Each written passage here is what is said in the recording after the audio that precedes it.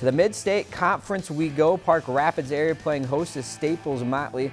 Let's go to the second. Visitors threatening. Thomas Cosson finds some grass and left. That scores at a run and cuts the deficit to two, but the Panthers offense would awaken.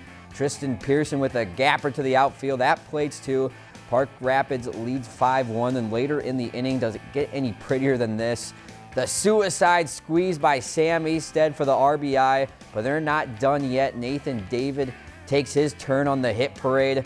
That's good enough for two more to score.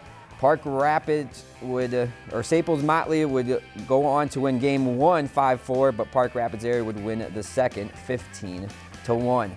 If you've enjoyed this segment of Lakeland News, please consider making a tax-deductible contribution to Lakeland Public Television.